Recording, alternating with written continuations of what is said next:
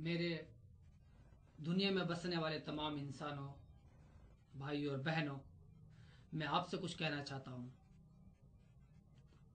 हमारे बड़ों ने बताया और सभी इंसान सभी धर्मों में ये बात मानी जाती है जितने भी तमाम इंसान दुनिया में बसने वाले हैं सब एक माँ बाप के औलाद है उन, ये ज़रूर है उनको अलग अलग धर्मों में अलग अलग नाम से पुकारा, याद किया जाता है। और जैसे दिन इस्लाम में उनको आदम अलैहिस्सलाम और माँ हवा कहा जाता है। अल्लाह पाक ने इस दुनिया में इंसान को अपना खलीफा बनाया और पहले खलीफा और पहले रसूल आदम अलैहिस्सलाम थे। सब उनके औलाद हैं और अल्लाह ने इस दुनिया में अपना निज़ाम, अपना ज़िंदगी गुजारने का तरीका बताने के लिए रसूलों को मुंतखब किया है। और इस दुनिया के अंदर करीब सवा लाख लाख भाग नबी तशरीफ़ लाए और हर खत्ते, हर जबान, हर दौर में अल्लाह के डराने वाले, अल्लाह की तरफ़ बुलाने वाले आए हैं। उनकी आखिरी में हमारे प्यारे मोहम्मद रसोल्ला तशरीफ़ लाए। आप कोई एक नया धर्म लेकर नहीं आए, बल्कि वही दीन क़यम को ही आपने भी बोला, हर एक का, हर नबी का कलमा यही रहा, ला यानी कि अल्लाह के सिवा कोई इलाहा, कोई इबादत के लायक नहीं है, सिवा अल्लाह के। तो जब अल्लाह ही सिर्फ़ इबादत के और हमारे इस दुनिया को बनाने वाले और चलाने वाले हैं तो उन्हीं को यह हक पहुँचता है कि इस तमाम इंसान उसके बताए हुए तरीके पर चले। और उसका बताया हुआ तरीका सिर्फ़ उसके नबी ही बता सकते हैं कि नबी के पास अल्लाह की वही आती रही है फरिश्तों के ज़रिए से। तो उस प्यारे रसूल सल्लल्लाहु अलैहि वसल्लम की ज़िंदगी के बारे में बहुत से प्रोपेगेंडे किए गए हैं।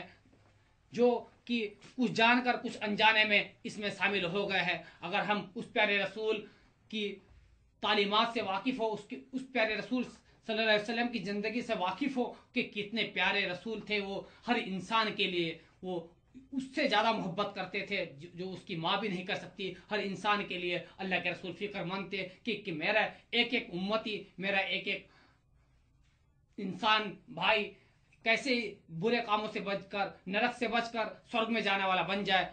और इसी जस्तजू में मैं भी लगा रहता हूँ कि काश किसी तरह कोई पैगाम मैं अपने इंसानी भाइयों को पहुँचा सकूँ। और कैसे मैं अपने इंसानी भाइयों को अपना फ़र्ज़ समझते हुए मैं मुखलिसना तौर पे मुझे किसी से कोई लालच नहीं है किसी तरह का। एक पीड़ा है, एक दर्द है जो आप वसल्लम का दर्द था।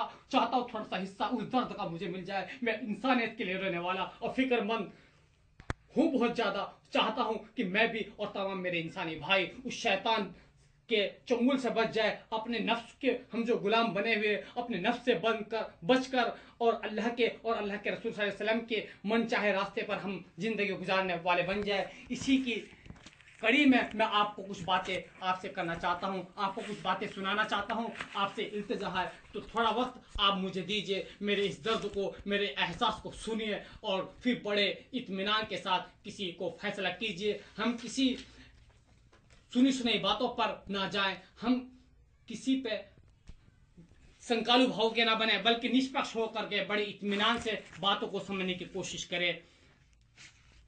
अल्लाह के नाम से जो बड़ा मेहरबान और दयावान है, ये थोड़ी सी बातें हैं जो बड़ी मोहब्बत के साथ लिखी गई है। हमारे हज़रत मौलाना कलीम सिद्दीकी साहब की, जो कि आपकी अमानत, आपकी सेवा के नाम से आपकी सेवा में मैं अर्ज़ करना चाहता हूँ। मुझे माफ़ कर दें, अगर कोई बात मुझे मेरे से गलती से हो, निकल आए तो मैं आपसे और अल्लाह से माफ़ी का तलबगार हूँ।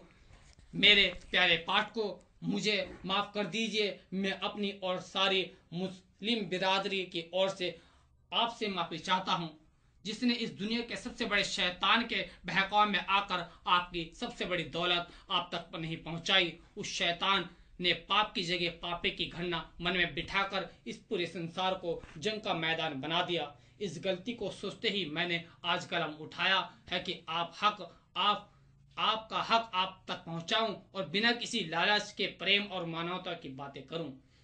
वह सच्चा स्वामी जो मन का हाल जानता है, गवाह है कि इस सच्चाई को आप तक पहुँचाने में अत्यंत निष्ठा के साथ में सच्ची हमदर्दी का हक निभाना चाहता हूँ।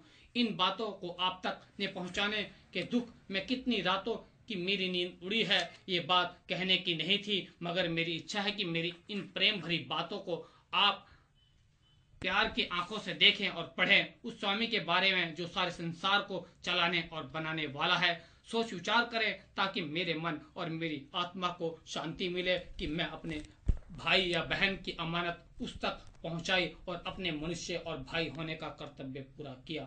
इस संसार में आने के बाद एक मनुष्य के लिए जिस सच्चाई को जानना और मानना आवश्यक है और जो उस, इसकी सबसे बड़ी ज़िम्मेदारी और कर्तव्य है, वे प्रेम भरी बात मैं आपको सुनाना चाहता हूँ। प्रकृति का सबसे बड़ा सच इस संसार, बल्कि प्रकृति की सबसे बड़ी सच्चाई ये है कि इस संसार में सारे जीवों और पूरी सृष्टि और ब्रह्मांड को बनाने वाला, पैदा करने वाला और उसका प्रबंध करने वाला केवल और केवल एक अकेला स्वामी है। वे अपनी जात, गुण और अधिकारों में अकेला है। दुनिया को बनाने, चलाने, मारने और जिलाने में उसका कोई साझी नहीं। वे एक ऐसी शक्ति है जो हर जगह मौजूद है। हर एक की सुनता है, हर एक को देखता है। सारे संसार में एक कुत्ता भी उसकी आज्ञा के बिना हिल नहीं सकता। हर सारे संसार में एक पत्ता भी उसकी आज्ञा के बिना हिल नहीं सकता। हर मनुष्य की आत्मा उसकी गवाही देती है। चाहे वे किसी भी धर्म का मानने वाला हो और चाहे वे मूर्ति का पुजारी ही क्यों नहीं हो। अगर, मगर अंदर से वे विश्वास रखता है कि पैदा करने वाला, पालने वाला, पालनहार और असली मालिक तो केवल वही एक है। इंसान की बुद्धि में भी इसके अलावा कोई कोई और बात नहीं आती कि सारे संसार का स्वामी एक ही है। यदि किसी स्कूल के दो प्रधानाचार्य हो तो स्कूल नहीं चल सकता। यदि एक गाँव के दो प्रधान हो तो गाँव की व्यवस्था तलपट हो जाएगी। किसी देश के दो बादशाह नहीं हो सकते तो इतनी बड़ी और व्यापक कायनात की व्यवस्था एक से अधिक स्वामियों के द्वारा कैसे चल सकती है? और संसार के प्रबंधक कई हस्तियाँ कैसे हो सकती है? एक दलील, कुरान जो अल्लाह की वाणी है, उसने दुनिया को अपनी सत्यता बताने के लिए यह दावा किया है कि हमने जो कुछ अपने बंदे पर कुरान उतारा है, उसमें यदि तुमको संदेह है कि कुरान उस मालिक का सच्चा कलाम नहीं है तो इस जैसी एक सूरत ही बना लाओ, ले आओ और चाहो तो इस काम के लिए अल्लाह को छोड़कर अपने सहायकों को भी मदद के लिए बुला लो, यदि तुम सच्चे हो। अनुवाद कुरान सुर बकरा दो तेईस। चौदह सौ साल के से आज तक दुनिया के योग्य लेखक, विद्वान और बुद्धिजीवी शोध और रिसर्च करके थक चुके और अपने, अपना सिर झुका चुके हैं, पर वास्तव में कोई भी अल्लाह की इस चुनौती का जवाब नहीं दे सका और न भविष्य में दे सकेगा। इस पवित्र पुस्तक में अल्लाह ने हमारी बुद्धि को अपील करने के लिए बहुत सी दलीलें दी हैं। एक उदाहरण यह है कि यदि धरती और आकाशों में अल्लाह के अलावा स्वामी और शासक होते तो इन दोनों में बड़ा बिगाड़ और उत्पाद मच जाता। सूर्य अंबिया इक्कीस बाईस। बात स्पष्ट है यदि एक के अलावा कई शासक स्वामी होते तो झगड़ा होता। एक कहता, अब रात होगी। दूसरा कहता, दिन होगा। एक कहता, छह महीने का दिन होगा। दूसरा कहता, तीन महीने का होगा। एक कहता, सूरज आज पश्चिम से उदय होगा। दूसरा कहता, नहीं, पूरब से उदय होगा। यदि देवी देवताओं को ये अधिकार वास्तव में होता और वे अल्लाह के कामों में भी भागीदार भी होते तो कभी ऐसा होता कि एक गुलाम ने पूजा अर्चना करके वर्षा के देवता से अपनी इच्छा मनवा ली तो बड़े स्वामी की ओर से आदेश आता कि अभी वर्षा नहीं होगी। फिर नीचे वाले हड़ताल कर देते। अब लोग बैठे हैं कि दिन नहीं निकलता। पता चला कि सूरज देवता ने हड़ताल कर रखी है। सच है कि दुनिया की हर चीज़ गवाही दे रही है। ये संगठित रूप से चलती हुई कायनात की व्यवस्था गवाही दे रही है कि संसार का स्वामी अकेला और केवल एक है। वे जब चाहे और जो चाहे कर सकता है। उसे कल्पना एवं विचारों में कैद नहीं किया जा सकता। उसकी तस्वीर नहीं बनाई जा सकती। उस स्वामी ने सारे संसार के मनुष्यों के फ़ायदे और उनकी सेवा के लिए पैदा किया है। सूरज, चाँद मनुष्य का सेवक, हवा मनुष्य की सेवक, ये धरती भी मनुष्य की सेवक है।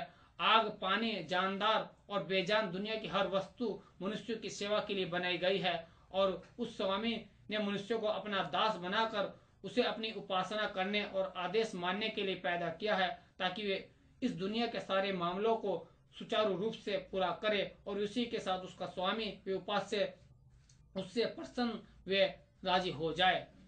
न्याय की बात है कि जब पैदा करने वाला, जीवन देने वाला, मौत देने वाला, खाना, पानी देने वाला और जीवन की हर ज़रूरत को पूरी करने वाला वही एक है तो सच्चे मनुष्य को अपने जीवन और जीवन संबंधी समस्त मामलों को अपने स्वामी की इच्छा के अनुसार उसका आज्ञा पालक होकर पूरा करना चाहिए। यदि कोई मनुष्य अपना जीवन काल उस अकेले स्वामी का आदेश मानते हुए नहीं गुजार रहा है तो सही अर्थों में वो मनुष्य कहलाने योग्य नहीं। एक बड़ी सच्चाई। उस स्वामी, उस सच्चे स्वामी ने अपनी सच्ची पुस्तक कुरान में बहुत सी सच्चाइयों में से एक सच्चाई हमें ये बताई है, हर जीवन को मौत का स्वाद चखना है, फिर तुम सब हमारी ही और लौटाए जाओगे। कुरान अन कबूत उनतीस सत्तावन। इस आयत के दो भाग हैं। पहला ये कि हर एक जीव को मौत का मज़ा चखना है। ये ऐसी बात है कि हर धर्म, हर वर्ग और हर स्थान का आदमी इस बात पर विश्वास करता है, बल्कि जो धर्म को भी नहीं मानता, वे भी इस सच्चाई के सामने सिर झुकाता है और जानवर तक मौत की सच्चाई को समझते हैं। चूहा बिल्ली को देखते ही अपनी जान बचाकर भागता है और कुत्ता भी सड़क पर आती हुई किसी गाड़ी को देखकर अपनी जान बचाने के लिए तेज़ी से हट जाता है, क्योंकि ये जानते हैं कि यदि यदि इन्होंने ऐसा नहीं किया तो उनका मर जाना निश्चित है। मौत के बाद इस ऐप के दूसरे भाग में कुरान की एक और बड़ी सच्चाई की ओर हमारा ध्यान आकर्षित करता है। यदि वे मनुष्य की समझ में आ जाए तो सारे संसार का वातावरण बदल जाए ये सच्चाई वह सच्चाई है कि तुम मरने के बाद मेरी ही ओर लौटाए जाओगे और इस, इस संसार में जैसा कर्म करोगे वैसा ही बदला पाओगे। मरने के बाद तुम मिट्टी में मिल जाओगे या गल सड़ जाओगे और दोबारा जीवित नहीं किए जाओगे ऐसा नहीं है। और न ये सच है कि मरने के बाद हमारी आत्मा किसी और शरीर में प्रवेश कर जाएगी। ये दृष्टिकोण किसी भी दृष्टि से मानव बुद्धि की कसौटी पर खड़ा नहीं उतरता। पहली बात यह कि आवागमन का ये काल्पनिक विचार वेदों में मौजूद नहीं है। बाद में पुराणों देव मालाई कहानियों में इसका उल्लेख है। इस विचारधारा की शुरुआत इस प्रकार हुई कि शैतान ने धर्म के नाम पर लोगों को ऊंच नीच में जकड़ दिया। धर्म के नाम पर शूद्रों से सेवा कराने और उनको नीच और तुच्छ समझने वाले धर्म के ठेकेदारों से समाज के दबे कुचले वर्ग के लोगों ने जब ये सवाल किया कि जब हमारा पैदा करने वाला ईश्वर है और उसने सारे मनुष्यों को आँख कान नाक हर वस्तु में समान बनाया है तो आप लोग अपने आप को ऊँचा और हमें नीचा और तुच्छ क्यों समझते हैं? इसका उन्होंने आवागमन की विचार धार धा, धारा घड़कर ये जवाब दिया कि तुम्हारे पिछले जीवन के बुरे कामों में कामों ने तुम्हें इस जन्म से में नीच और अपमानित बनाया है। इस विचारधारा के अनुसार सारी आत्माएँ दोबारा पैदा होती है और अपने कामों के हिसाब से शरीर बदल कर आती है। अधिक बुरे काम करने वाले लोग जानवरों के शरीर में पैदा होते हैं।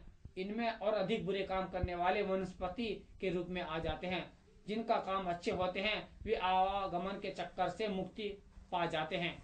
आवागमन के विरुद्ध तीन तर्क। इस संबंध में सबसे बड़ी बात यह है कि वैज्ञानिकों का कहना है कि इस धरती पर सबसे पहले वनस्पति पैदा हुई, फिर जानवर पैदा हुए और उसके करोड़ों साल बाद मनुष्य का जन्म हुआ। अब जबकि मनुष्य अभी इस धरती पर पैदा ही नहीं हुआ था और किसी मानव आत्मा ने अभी बुरा काम ही नहीं किया था तो सवाल पैदा होता है कि वे किसकी आत्माएँ थी जिन्होंने अनगणित जानवरों और पेड़ पौधों के रूप में जन्म लिया? दूसरी बात यह है कि इस विचारधारा को मान लेने के बाद तो ये होना चाहिए था कि धरती पर जानवरों की संख्या में निरंतर कमी होती रहती जो आत्माएँ आवागमन से मुक्ति पा लेती उनकी संख्या कम हो, होती रहनी चाहिए थी। जबकि यह वास्तविकता हमारे सामने है कि धरती पर मनुष्यों जानवरों और वनस्पति हर प्रकार के जीवों की संख्या में निरंतर बड़ी भारी वृद्धि हो रही है। नंबर तीन तीसरी बात यह है कि इस दुनिया में पैदा होने वालों और मरने वालों की संख्या में धरती आकाश के जितना अंतर दिखाई देता है, मरने वालों की तुलना में पैदा होने वालों की संख्या कहीं अधिक है। खरबों अनगणित मच्छर पैदा होते हैं, जबकि मरने वाले इससे बहुत कम है। कभी अपने देश में किसी बच्चे के बारे में बात फैल जाती है कि वे उस जगह को पहचान रहा है, जहाँ पिछले जन्म में रहता था। अपना पुराना नाम भी बता रहा है, और ये भी कि उसने दोबारा जन्म लिया है। सच्ची बात तो यह है कि इन सारी बातों का वास्तविकता से कोई संबंध नहीं होता। इस प्रकार की चीज़ें विभिन्न प्रकार की मनोवैज्ञानिक, व मानसिक रोग या आध्यात्मिक, व सामाजिक, व हालात की प्रतिक्रिया का नतीजा होती है, जिनका सुचारू रूप से इलाज कराया जाना चाहिए। मूल वास्तविकता से इनका दूर तक कोई वास्ता नहीं होता। वास्तविकता, वास्तविक बात यह है कि ये सच्चाई मरने के बाद हर मनुष्य के सामने आ जाएँगी कि मनुष्य मरने के बाद अपने पैदा करने वाले स्वामी के पास जाना है और उसने उस संसार में जैसे काम किए होंगे, उसके हिसाब से परले में दंड या इनाम पाना है। कर्मों का फल मिलेगा। यदि मनुष्य अपने पालनहार की उपासना और उसकी बात मानते हुए अच्छे काम करेगा, भलाई और सदाचार के रास्ते पर चलेगा तो वे अपने पालनहार की कृपा से जन्नत में जाएगा। जन्नत, जहाँ आराम की हर वस्तु है, बल्कि वहाँ तो आनंद, वे सुख वैभव की ऐसी वस्तुएँ भी हैं, जिनको इस दुनिया में न किसी आँख ने देखा, न किसी कान ने सुना, न किसी दिल में उनका विचार आया। और जन्नत की सबसे बड़ी नेमत यह होगी कि जन्नती लोग वहाँ अपनी आँखों से अपने स्वामी वे एवं पालनहार को देख सकेंगे, जिसके दरबार, जिसके बराबर आनंद और हर्ष की कोई वस्तु नहीं होगी। इसी तरह जो लोग बुरे काम करेंगे, अपने पालनहार के साथ दूसरों को भागी बनाएँगे और विद्रोह करके अपने मनुष्य के आदेश का इनकार करेंगे, वे नरक में डाले जाएँगे, वे वहाँ आग में जलेंगे, वहाँ उनको बुरे कामों और अपराधों का दंड मिलेगा और सबसे बड़ा दंड ये होगा कि अपने स्वामी को देखने से वंचित रह जाएँगे और उन पर उनके स्वामी की दर्दनाक यातना होगी। पालनहार का साझी बनाना सबसे बड़ा गुना उस सच्चे असली स्वामी ने अपनी किताब कुरान में हमें बताया कि भलाइयाँ और सदकर्म छोटे भी होते हैं और बड़े भी। इसी तरह उस स्वामी के यहाँ अपराध, पाप और बुरे काम भी छोटे बड़े होते हैं। उसने हमें बताया है कि जो अपराध, वे पाप मनुष्यों को सबसे अधिक और भयानक दंड का भोगी बनाता है, जिसे वे कभी समा नहीं करेगा और जिसको करने वाला सदैव के लिए नरक में जलता रहेगा, वे नरक से बाहर नहीं जा सकेगा, वे मौत की इच्छा करेगा, परंतु उसे मौत कभी नहीं आएगी।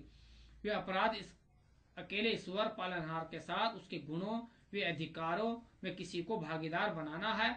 इसके अलावा किसी दूसरे के आगे अपना सिर या माथा टेकना है और किसी और को पूजा योग्य मानना, मारने वाला, जीवित करने वाला, आजीविका देने वाला, लाभ विहाने का मालिक समझना बहुत बड़ा पाप और अत्यंत ऊँचे दर्जे का जुल्म है। चाहे ऐसा किसी देवी देवता को माना जाए या सूरज, चाँद, सितारे या किसी पीर फकीर को, किसी को भी उस एकमात्र स्वामी के गुणों में बराबर का या भागीदार समझना शिरक बहुदेवाद है, जिसे वे स्वामी कभी क्षमा नहीं करेगा। इसके अलावा किसी भी गुनाह को यदि वे चाहे तो माफ़ कर देगा।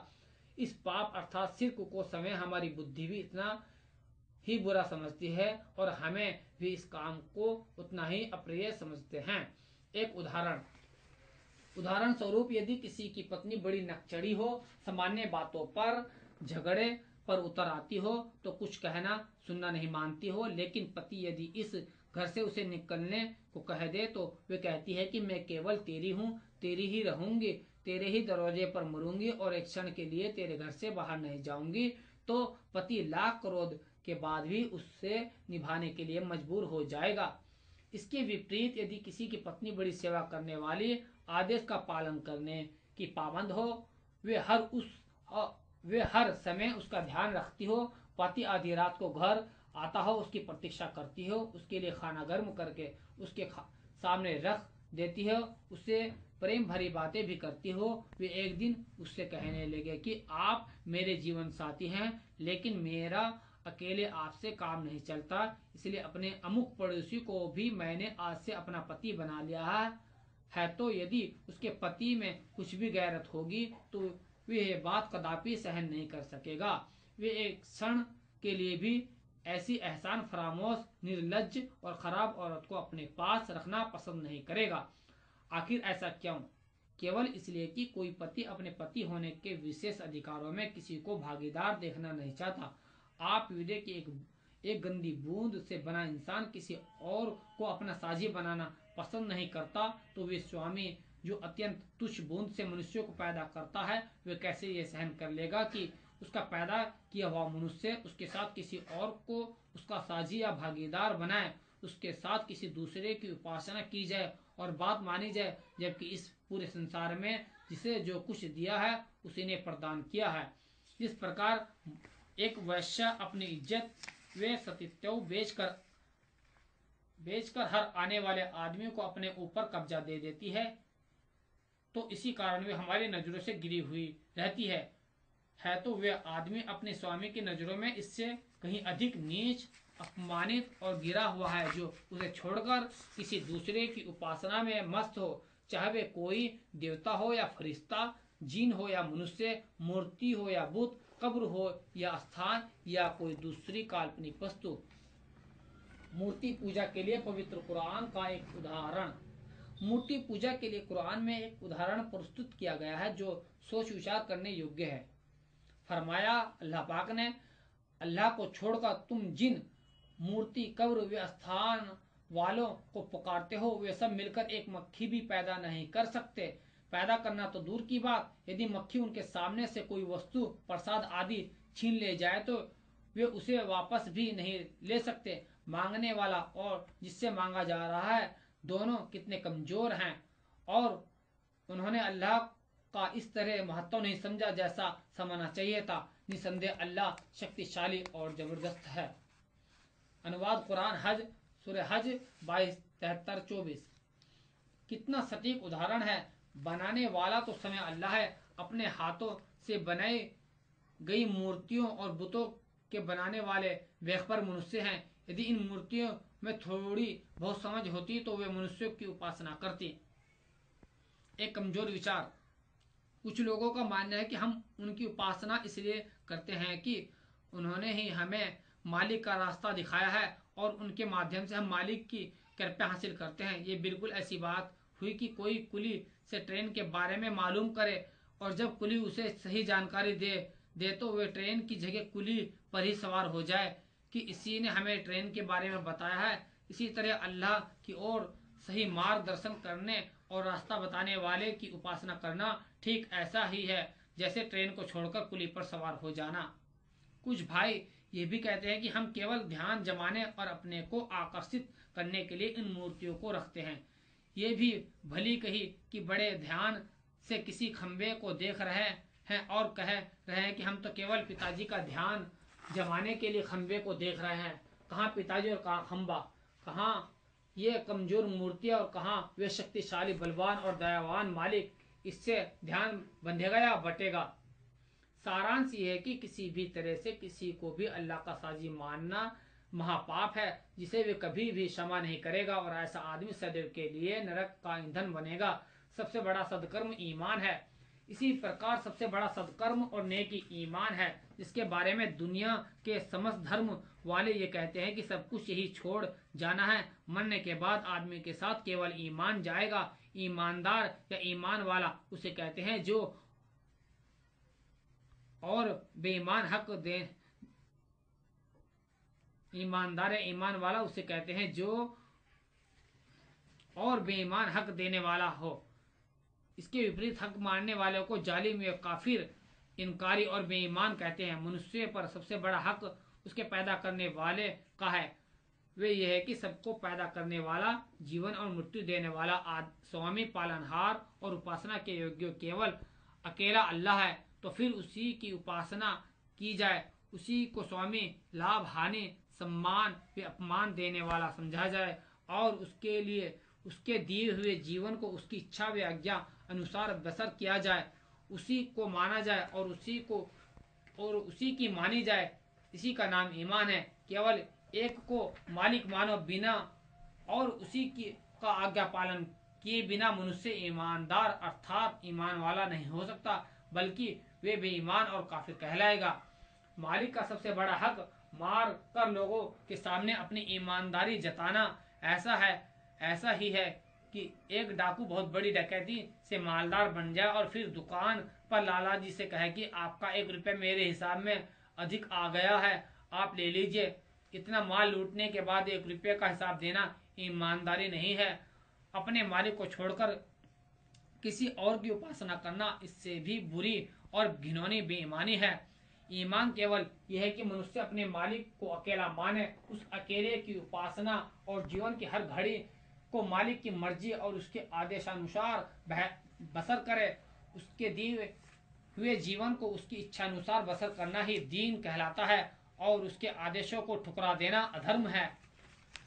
सच्चा दीन सच्चा दीन आरंभ से ही एक है और उसकी शिक्षा है कि उस अकेले ही को माना जाए और उसी का हुक्म भी माना जाए। अल्लाह ने कुरान में कहा है इस्लाम के अलावा जो भी किसी और दीन को अपनाएगा, वे अस्वीकार्य होगा और ऐसा व्यक्ति परलोक में हानि उठाने वालों में होगा।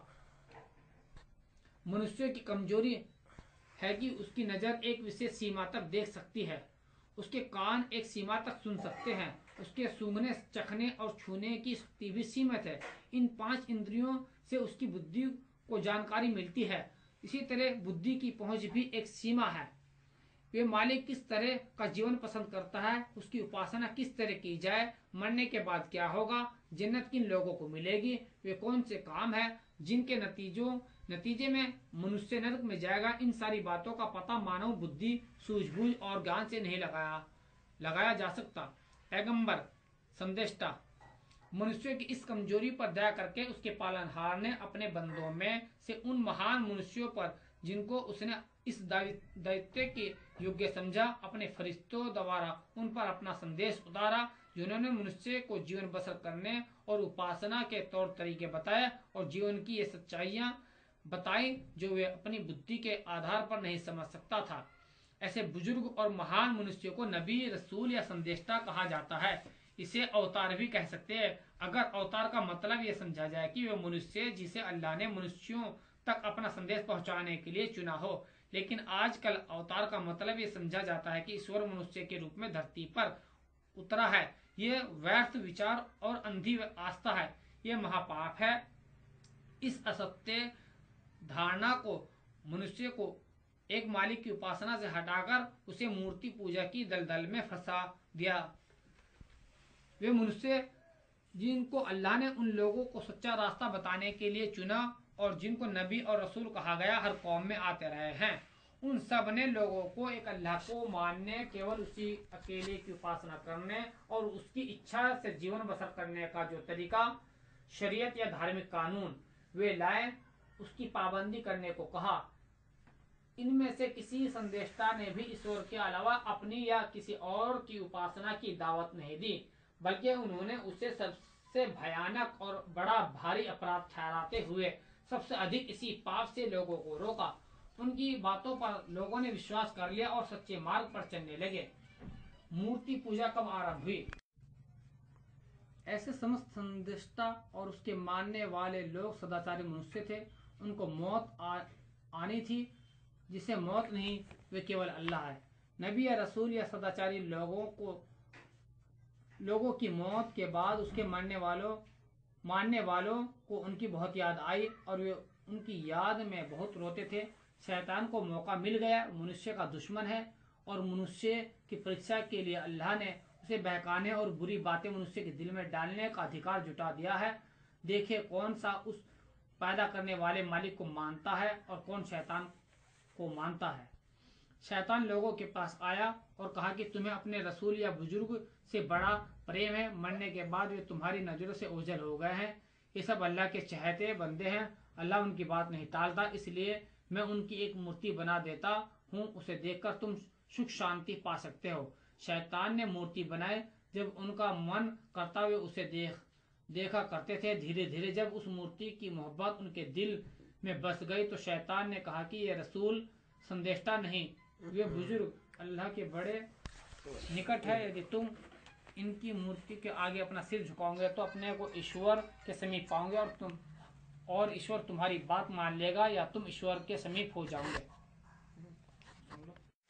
मनुष्य के मन में मूर्ति की आस्था पहले ही घर कर चुकी थी, इसलिए उसने मूर्ति के आगे सिर झुकाना और उसे पूजना आरंभ कर दिया। और वह मनुष्य जिसकी उपासना के योग्य केवल एक अल्लाह था, मूर्तियों को पूजने लगा और सिर्क बहुदेवाद में फंस गया। मनुष्य जिसे अल्लाह ने धरती पर अपना खलीफा, प्रतिनिधि बनाया था। जब अल्लाह के अलावा दूसरों के आगे झुकने लगा तो अपनी और दूसरों की नज़रों में अपमानित और घृणा का पात्र हो हो गया और मालिक की नज़रों से गिरकर सदैव के लिए नरक उसका ठिकाना बन गया। इसके बाद अल्लाह ने फिर अपने संदेशता भेजे, जिन्होंने लोगों को मूर्ति, पूजा ही नहीं हर प्रकार के बहुदेववाद और अन्याय के संबंध रखने वाली बुराइयों और नैतिक बिगाड़ से रोका कुछ लोगों ने उनकी बात मानी और कुछ लोगों ने उनकी आज्ञा की। जिन लोगों ने बात मानी, अल्लाह उनसे प्रसन्न हुआ और जिन लोगों ने उनके निर्देशों और नसीहतों का उल्लंघन किया, अल्लाह की ओर से दुनिया ही में उनको तबाह व बर्बाद कर देने देने वाले फैसले किए गए। रसूलों की शिक्षा एक के बाद एक नबी और रसूल आते रहे। उनके धर्म का आधार एक होता।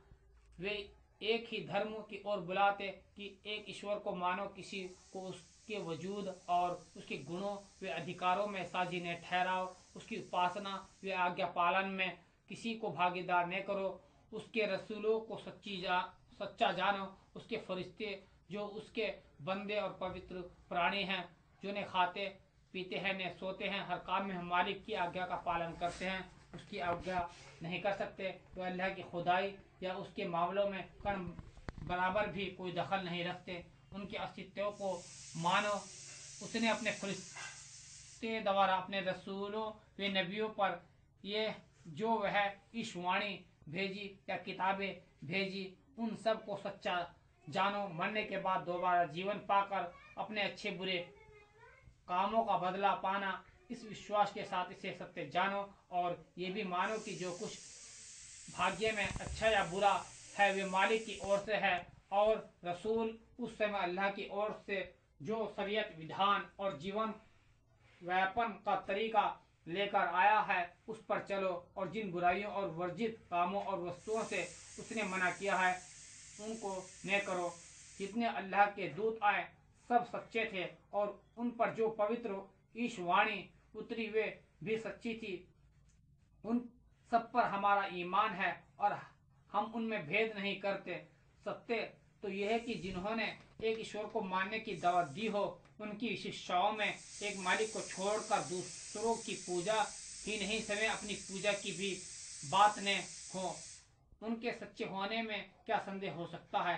अलबत्ता जिन महापुरुषों के यहाँ मूर्ति पूजा या बहुत से उपास्यों की उपासना की शिक्षा मिलती है, या तो उनकी शिक्षाओं में परिवर्तन कर दिया गया है, या या वे अल्लाह के दूत ही नहीं हैं। मोहम्मद सल्लल्लाहु अलैहि वसल्लम से पहले के सारे रसूलों के जीवन के हालात में हेर फेर कर दिया गया है, और उनकी शिक्षाओं के बड़े हिस्से को भी परिवर्तित कर दिया गया है।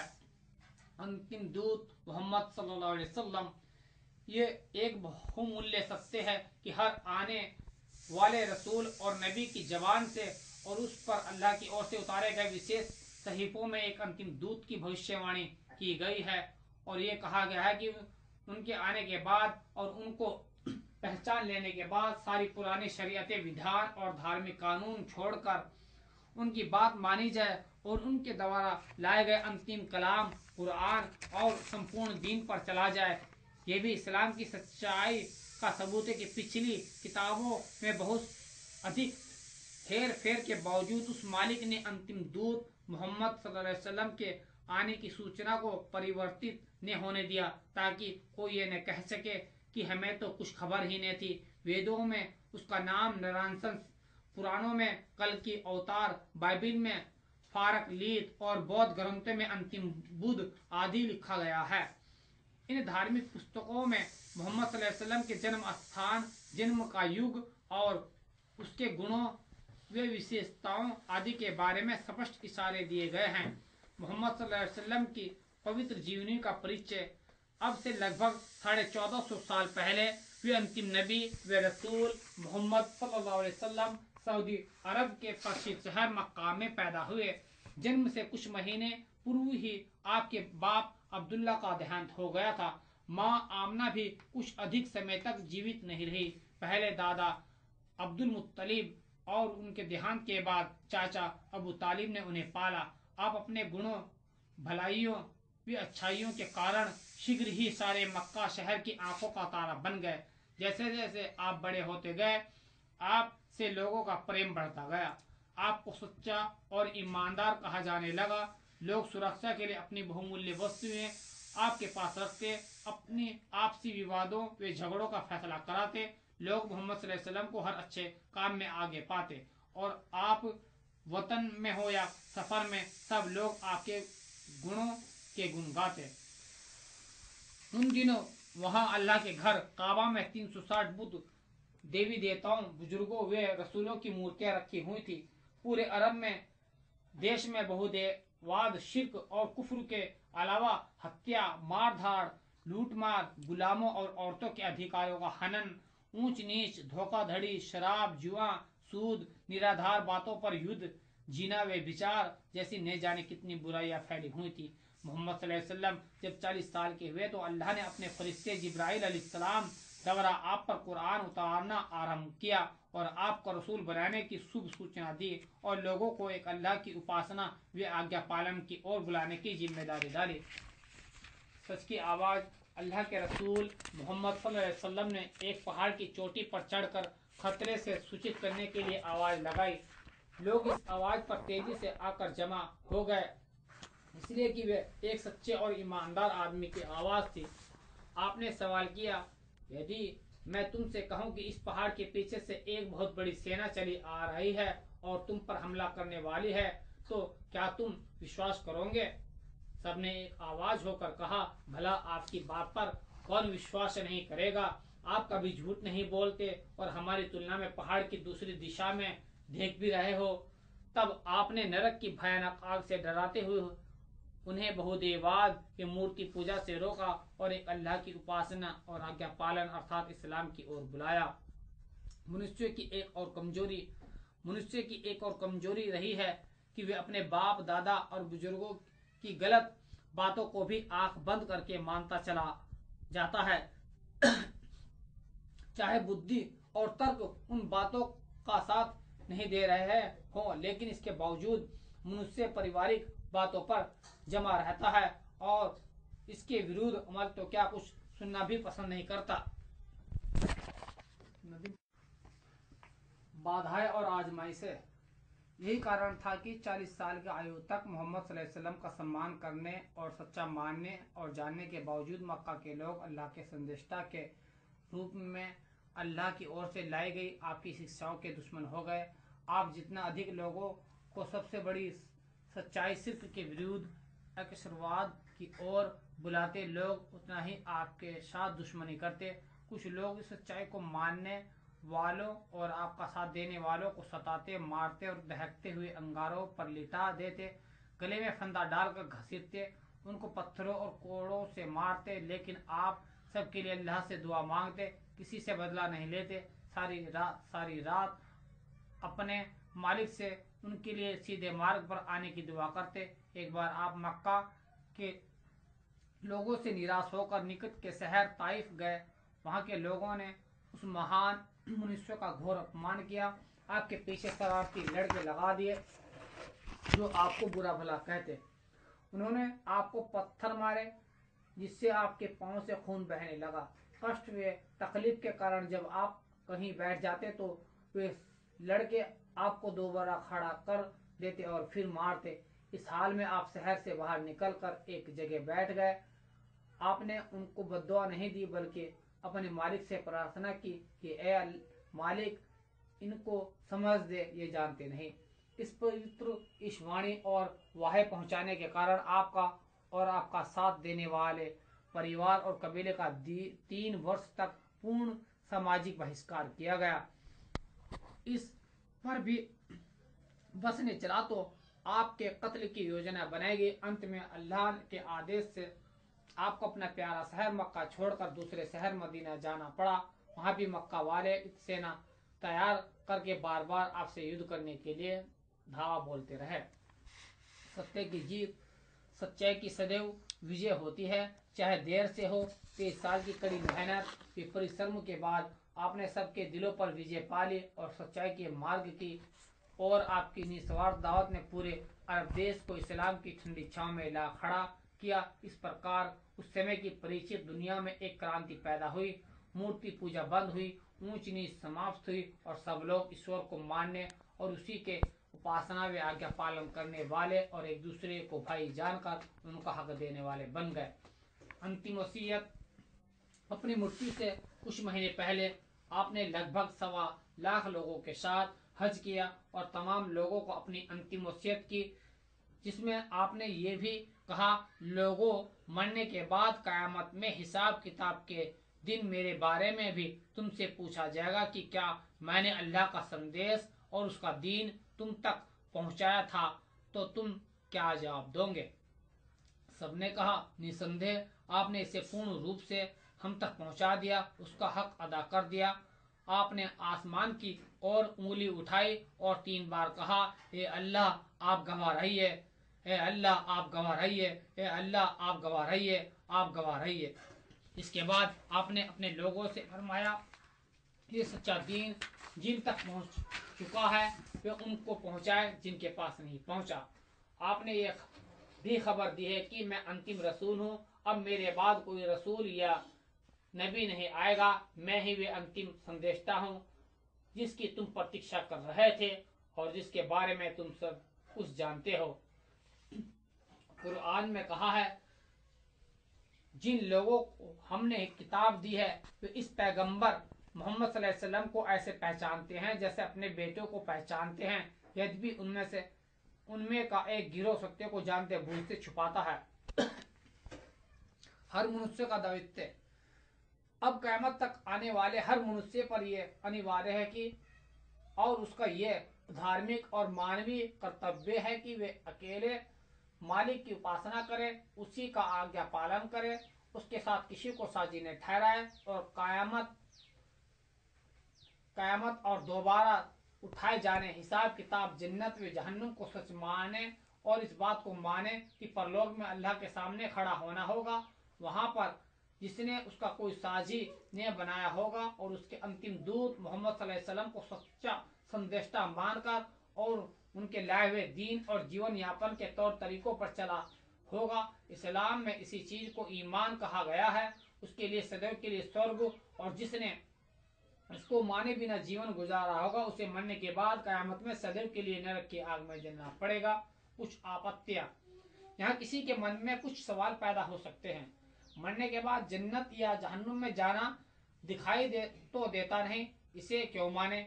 इस संबंध में जान लेना उचित होगा कि समस्त ईश्वरी किताबों में जन्नत और जहन्नुम का हाल बयान किया गया है, जिससे ये मालूम होता है कि जन्नत व जहन्नुम की धारणा सारे ईश्वरी धर्मों में एक ठोस हकीकत है। इसे हम एक उदाहरण से ही समझ सकते हैं। बच्चा जब माँ के पेट में होता है, यदि उससे कहा जाए कि जब तुम बाहर जाओगे तो दूध पियोगे और बाहर आकर तुम बहुत से लोगों और बहुत सी वस्तुओं को देखोगे तो गर्भ की हालत में उसे विश्वास नहीं आएगा। मगर जैसे वे गर्भ से बाहर आएगा, तब सारी वस्तुओं को अपने सामने पाएगा। इसी तरह संसार, सारा संसार एक गर्भ की हालत में है। यहाँ से मौत के बाद निकलकर जब मनुष्य परलोक में आके खोलेगा तो सब कुछ अपने सामने पाएगा। वहाँ की जन्नत व जहन्नुम और दूसरे तथ्यों की सूचना हमें उस सच्चे व्यक्ति ने दी, जिसको उसके घोर शत्रु भी दिल से झूठा ने कह सके और कुरान जैसी किताब ने दी है, जिसकी सच्चाई हर अपने प्राय ने मानी है। दूसरी आपत्ति, दूसरी चीज़ जो किसी के मन में खटक सकती है वो ये है कि जब सारे रसूल उनका लाया हुआ दीन और ईश्वरी किताबें सच्ची है तो फिर इस्लाम से विकार करना क्यों ज़रूरी है? आज की वर्तमान दुनिया में इसका जवाब बिल्कुल आसान है। हमारे देश की एक संसद है, यहाँ का एक संविधान है। यहाँ जितने प्रधानमंत्री हुए, वे सब हिंदुस्तान के वास्तविक प्रधानमंत्री थे, पंडित जवाहरलाल नेहरू, शास्त्री जी, इंदिरा गांधी, चरण सिंह, राजीव गांधी, वीपी सिंह आदि। देश की ज़रूरत और समय के अनुसार जो वैधानिक संशोधन और कानून उन्होंने पास किए, वे अब जो वर्तमान प्रधानमंत्री है उनकी कैबिनेट और सरकार संविधान या कानून में जो भी संशोधन करेगी, उससे पुरानी संवैधानिक धाराएँ और कानून समाप्त हो जाएगा और भारत के हर नागरिक के लिए आवश्यक होगा कि वे इस नए संशोधित संविधान को, कानून को माने। इसके बाद कोई भारतीय नागरिक ये कहे कि इंदिरा गांधी असली प्रधानमंत्री थी, मैं तो उन्हीं के समय के संविधान और कानून को मानूँगा। इस नए प्रधानमंत्री के संशोधित हुए संविधान, वे कानून को मैं नहीं मानता और न उसके द्वारा लगाए गए टैक्स दूँगा तो ऐसे व्यक्ति को हर कोई देशद्रोही कहेगा और उसे दंड का हकदार समझा जाएगा। इसी तरह सारे ईश्वरी धर्मों और ईश्वरी किताबों में अपने समय में सत्य और सच्चाई की शिक्षा दी जाती थी, लेकिन अब उन समस्त रसूलों और ईश्वरी किताबों को सच्चा मानते हुए भी सबसे अंतिम रसूल मोहम्मद वसल्लम पर ईमान लाना और उनकी लाई हुई अंतिम पुस्तक व शरीयत पर चलना हर मनुष्य के लिए आवश्यक है।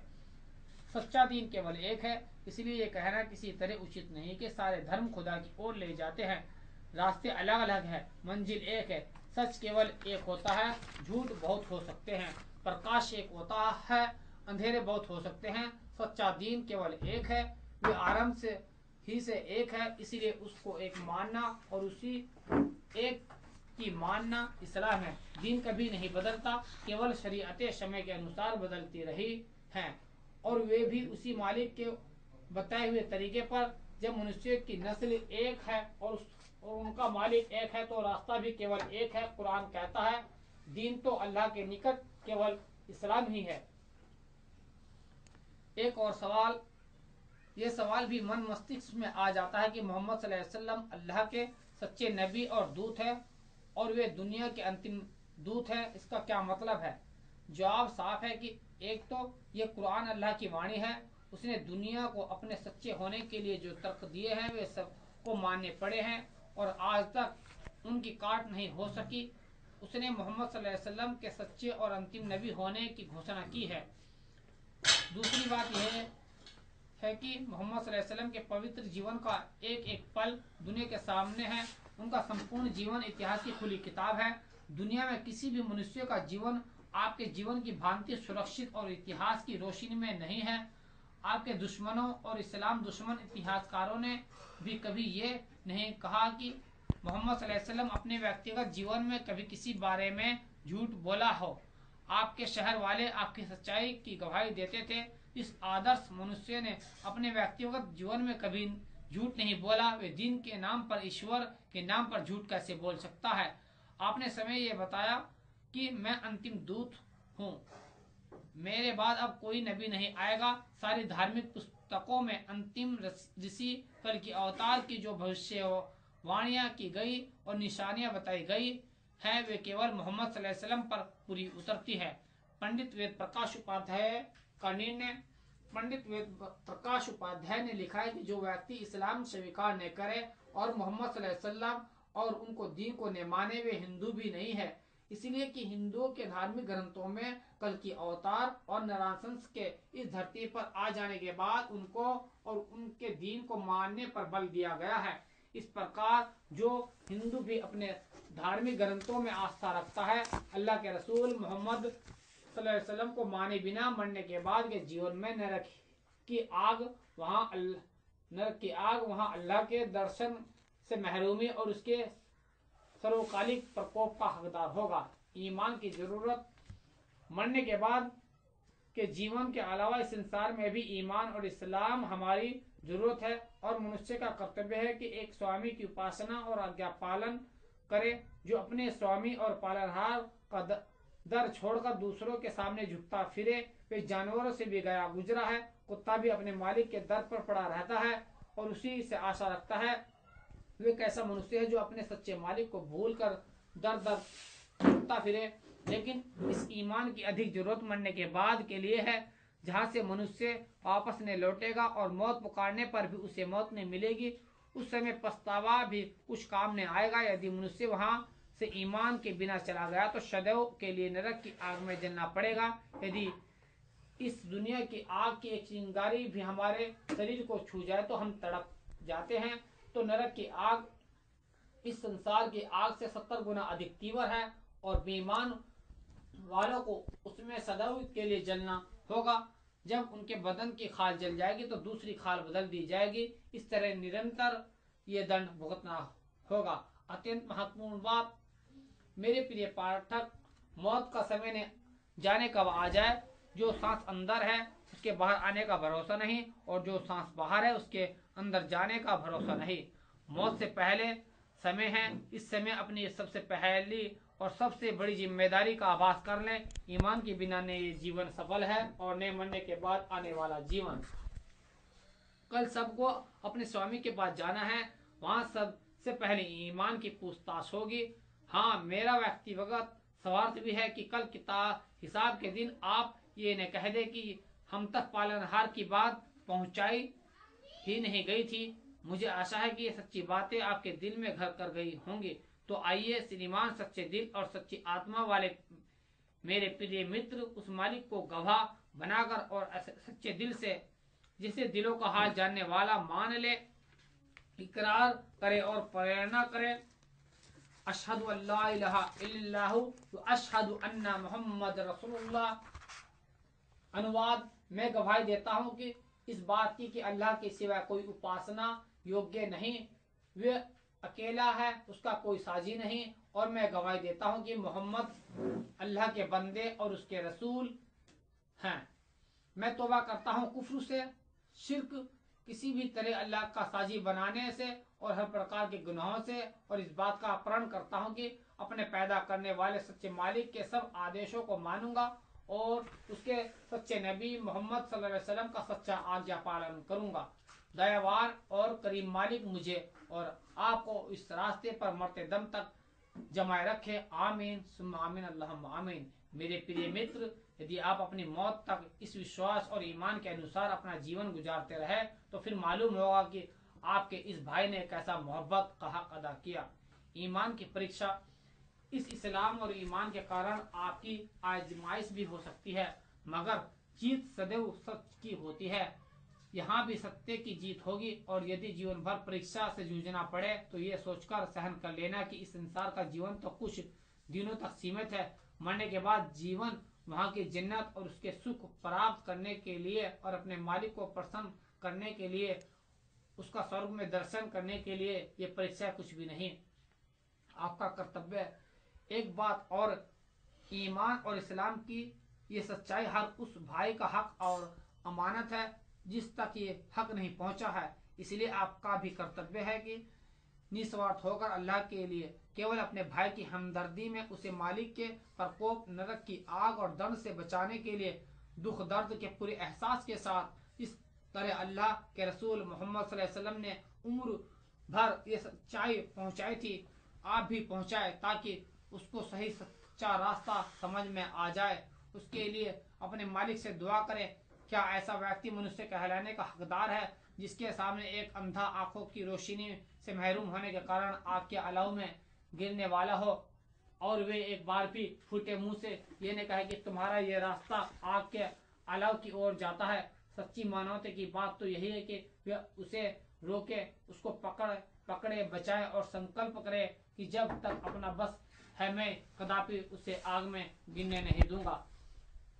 ईमान लाने के बाद हर मुसलमान पर हक है कि, जिसको दीन की दीन की नबी की कुरान की रोशनी मिल चुकी है वे सिर्फ़ और कुफर की शैतानी आग में फंसे लोगों को बचाने की धुन में लग जाए उनकी ठोड़ी में हाथ दे उनके पाँव पकड़े कि लोग ईमान से हटकर गलत रास्ते पर न जाए निस्वार्थ और सच्ची हमदर्दी में कहीं गई बात दिल पर प्रभाव डालती है। यदि आपके द्वारा एक आदमी को भी ईमान मिल गया और एक आदमी भी मालिक के सच्चे दर पर लग गया तो हमारा बेड़ा पार हो जाएगा।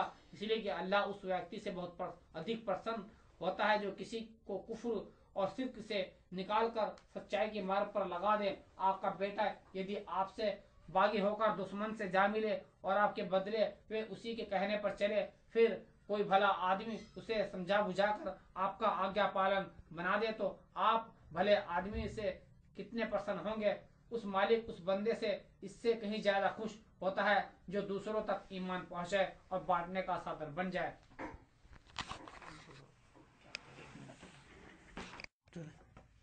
ईमान लाने के बाद, इस्लाम स्वीकार करने के बाद जब आप मालिक के सच्चे बंदे बन गए तो अब आप पर रोज़ाना पाँच बार नमाज़ फ़र्ज़ हो गई। आप इसे सीखें और पढ़ें।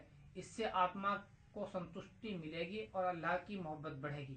मालदार है तो दीन की, निर्धारित की हुई दर से हर साल अपनी आय से हकदारों का हिस्सा जक़ात के रूप में निकालना होगा। रमज़ान के पूरे महीने रोज़े रखने होंगे और यदि बस में हो तो उम्र में एक बार हज के लिए मक्का जाना होगा। खबरदार, आप, अब आपका सिर अल्लाह के अलावा किसी के आगे नहीं झुके। आपके लिए कुफ्र शिरक झूठ, धोखाधड़ी, मामलों का बिगाड़, रिश्वत, अकारण हत्या कर देना, पैदा होने से पहले या पैदा होने के बाद संतान की हत्या, आरोप प्रत्यारोप, शराब, जुआ, सूद, सुअर का मांस ही नहीं, हलाल मांस के अलावा सारे हराम मांस और अल्लाह और उसके रसूल वसल्लम के ज़रिए हराम ठहराई गई हर वस्तु मना है उससे बचना चाहिए और अल्लाह की पाक और हलाल बताई हुई वस्तुओं पर अल्लाह का शुक्र अदा करते हुए पूरे शौक के साथ खाना चाहिए। अपने मालिक द्वारा दिया गया कुरान पाक सोच समझ कर पढ़ना चाहिए और पाकी और सफ़ाई के तरीकों और दीनी मामलों को सीखना चाहिए। सच्चे दिल से ये दुआ करनी चाहिए कि, ए हमारे मालिक, हमको परिवार के लोगों और रिश्तेदारों को और हमारे दोस्तों को और इस धरती पर बसने वाली तमाम मानवता को ईमान के साथ ज़िंदा रख और ईमान के साथ इन्हें मौत दे। इसलिए कि ईमान ही मानव समाज का पहला और आखिरी सहारा है। जिस तरह अल्लाह के एक पैगंबर इब्राहिम सलाम जलती हुई आग में अपने ईमान की वजह से कूद गए थे और उनका एक बाल तक न जल सका था, आज भी उस ईमान की ताकत आग को गुल गुल गुलजार बना सकती है और सच्चे रास्ते की हर रुकावट को ख़त्म कर सकती है। आज भी हो जो इब्राहिम का ईमा पैदा आग कर सकती है, अंदाजे गुलिस्ता पैदा। प्यारे मालिक के ये दो नाम हैं, जो कोई भी इनको सच्चे दिल से सौ बार पढ़ेगा मालिक उसको हर परेशानी से छुटकारा देगा और सच्चा रास्ता दिखाकर रहेगा। वे दो नाम ये है, या हादी, यानी ए सच्चा रास्ता दिखाने वाले, या रहीम, यानी ए, हर परेशानी में दया करने वाले, मैं इन बातों को आप तक, बड़ी मोहब्बत के साथ, बड़ी फिक्रमंदी के साथ, आप तक मैंने जो कहा है, उसको बड़े ध्यान से गौर फ़िक्र से उसको समझना और एक भाई का, एक पैगाम, एक मोहब्बत का पैगाम समझकर इसे कबूल करना। अगर आपने मेरी बात मान ली तो इंशाल्लाह मुझे उम्मीद है कि आप मुझे हमेशा याद रखेंगे, मेरा इसमें कोई जाति या किसी तरह का कोई मफाद नहीं है। एक मानवता होने के नाते, क्योंकि एक हम माँ बाप की संतान है, इसीलिए कुदरतन हर इंसान का के लिए हमें फिक्रमंद होना, हर इंसान की मोहब्बत का तकाजा है, क्योंकि हम आप उसमें ब्लड रिलेशन के भाई हैं। एक दूसरे की फिक्रमंदी होना ज़रूरी है, क्योंकि हमारे मोहम्मद वसल्लम ने फरमाया है कि सही इंसान, सच्चा इंसान वह है जो इंसान अपने लिए पसंद करे, वो अपने भाई के लिए पसंद करे। और जो इंसान अपने लिए पसंद नहीं करता, वो अपने भाई के लिए पसंद ना करे। इन्हीं लफ्जों के साथ मैं अपनी वाणी को विराम दूँगा। धन्यवाद। खुदा हाफिज।